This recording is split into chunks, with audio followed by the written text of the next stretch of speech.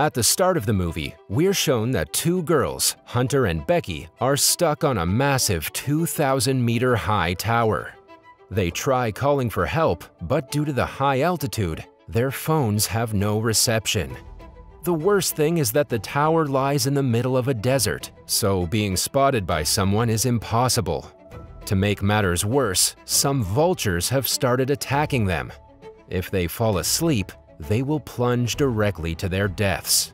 The story then goes into a flashback, where Becky, her partner Dan, and her best friend Hunter are rock climbing. The three of them appear to be having a good time when Dan comes across a small hole. He puts his hand inside the hole to get a grip, but suddenly a bird emerges, causing him to fall and become entangled in the rope. Dan tries his best to swing to the rock, but to no avail. Becky and Hunter also try to help him, but the rope snaps and Dan falls to his death. The scene then shifts to 51 weeks later, and Becky is still haunted by the incident. She appears depressed and has been drinking excessively.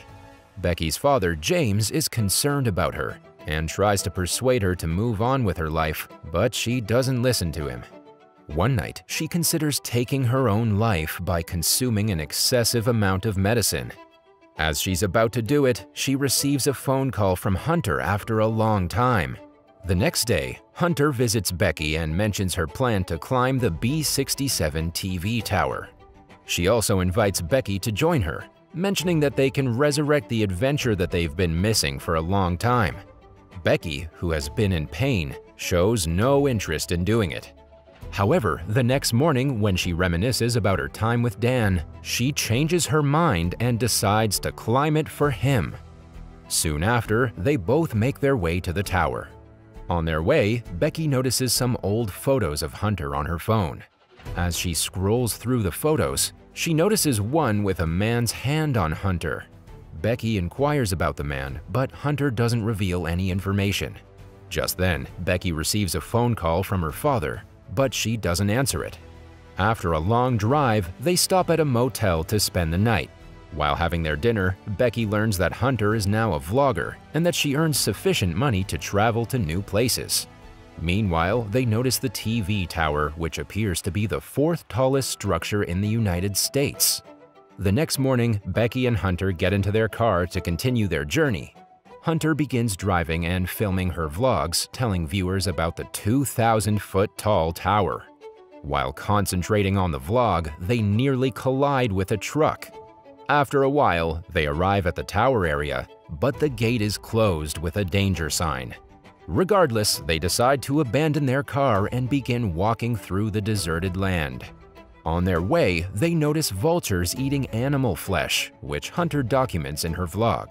She also uploads the animal's photo on social media, where it quickly gains numerous likes. A few moments later, they arrive at the tower, and Hunter resumes her vlogging. On the other hand, Becky becomes terrified of climbing as she's reminded of her past. She considers giving up, but Hunter persuades her to face her fears.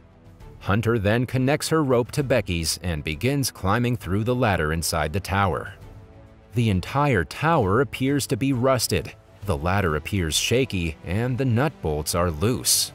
While Becky is climbing, one of the metal rods of the ladder breaks, causing her to be terrified.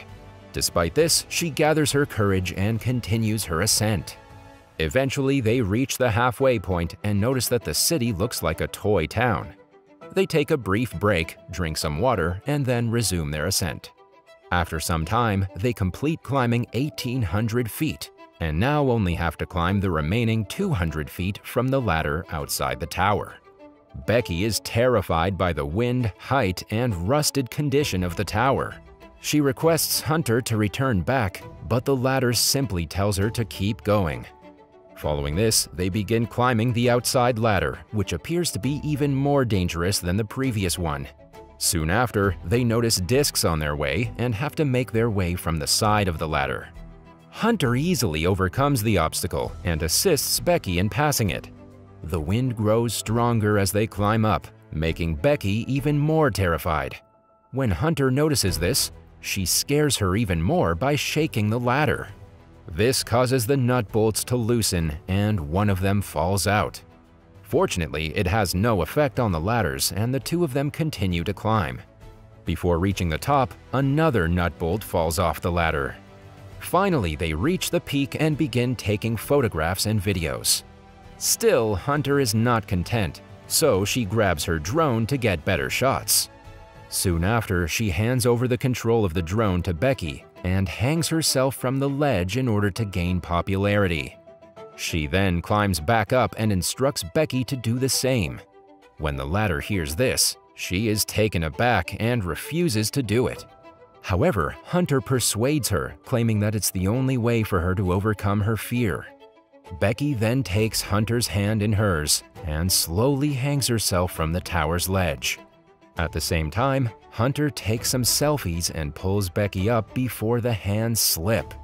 After this, Becky blows away Dan's ashes and waves a final goodbye to him, creating an emotional moment for both of them. Now they decide to return, so they attach their harnesses and Becky goes first. But as soon as she climbs down, the ladder breaks, causing her to fall. Fortunately, Hunter grabs the rope and manages to pull Becky up. After the near-death experience, they both laugh like maniacs. However, their laughter quickly fades away when they notice that the ladders are no longer there. They check their phone, but it has no signal. They also notice that their bag, containing water and supplies, has fallen on the disc. In the tower, they discover binoculars and a flare gun, but they are useless. As a result, Becky panics, but Hunter calms her down by saying that the sound of the ladder falling must have been heard by someone. She also persuades Becky to wait until someone comes to their aid. As soon as the two are brainstorming ideas to escape the situation, Hunter notices a large cut on Becky's leg from the previous fall, so she immediately ties her shirt around the wound. After some time has passed, Becky begins interviewing Hunter, asking her why she began vlogging.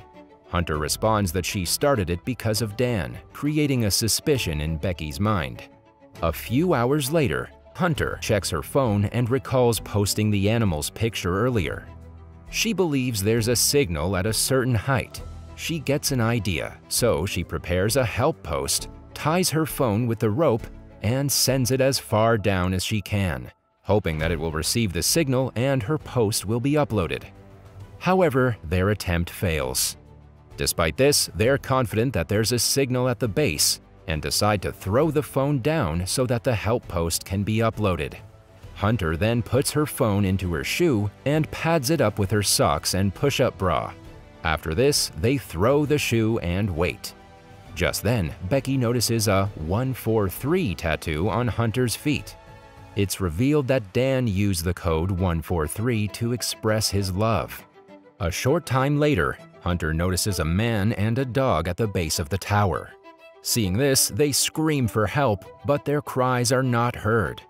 We see that Hunter's phone has been destroyed, indicating that their plan has failed. As the man prepares to leave, Becky throws both of their shoes in an attempt to catch the man's attention, but in vain.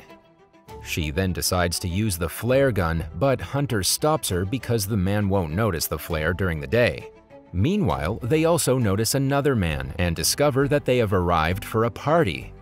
They then intend to use the flare gun at night so that the men can easily notice it. Eventually, the night falls and Becky shoots the flare gun. Fortunately, the men notice the flare and also the girls waving for help. They quickly approach Hunter's car, making the girls overjoyed. However, instead of saving them, the men steal their car and drive away. This breaks the girls from inside, and now they have to find a new solution quickly. Later, Becky inquires about Hunter's tattoo, to which the latter reveals that she had an affair with Dan for six months. She then apologizes to Becky for falling in love with her guy and making a huge mistake. She claims she was drawn to Dan because, unlike other men, he used to listen to her. She loved him, but she loved Becky more, and as a result, she ended their affair. Hearing this, Becky is disappointed that her own friend and partner had betrayed her.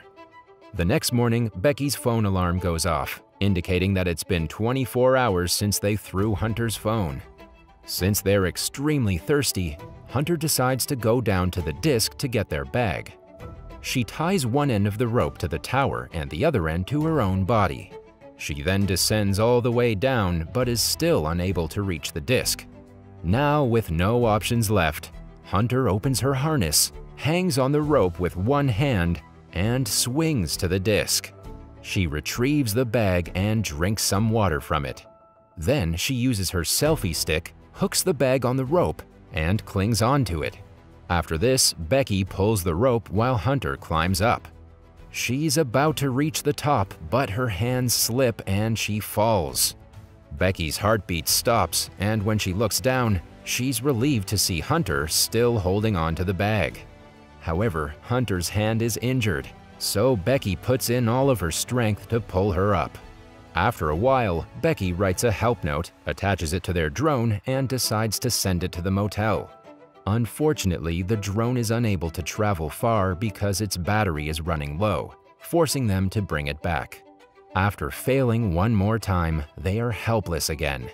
Later that night, Becky has a terrifying dream about vultures devouring Hunter's body.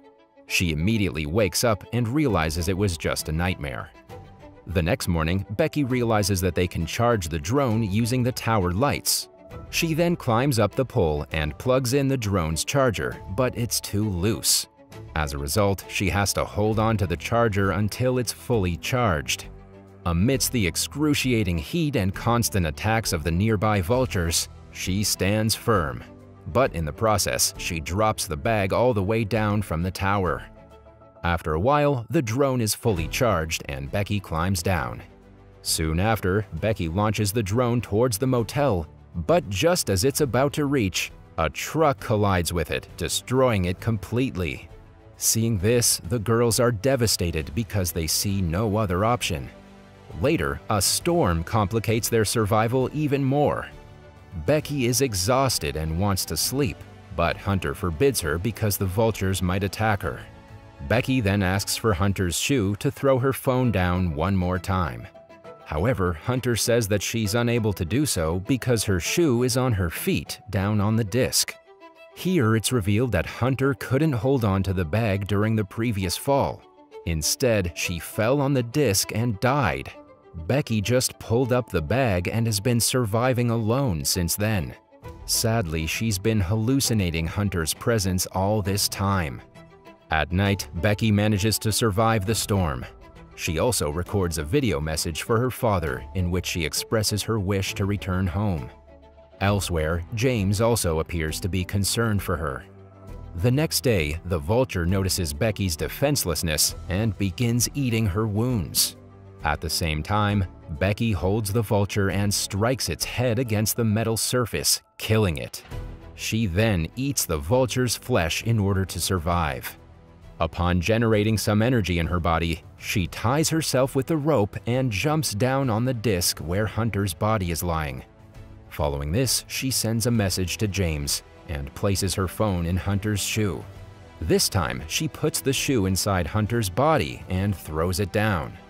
Later at night, James receives the message and immediately dials 911. He rushes to the scene and discovers the police transferring the dead body. Seeing this, he sobs, thinking the body belongs to Becky. But soon he's relieved to see his daughter alive. Finally, the father and daughter reunite, creating an emotional moment. That was all from the video. I hope you liked it. Subscribe for more content like this, and hit the like button to help us out. Also, leave a comment if you want us to recap your favorite movie. Until next time, take care.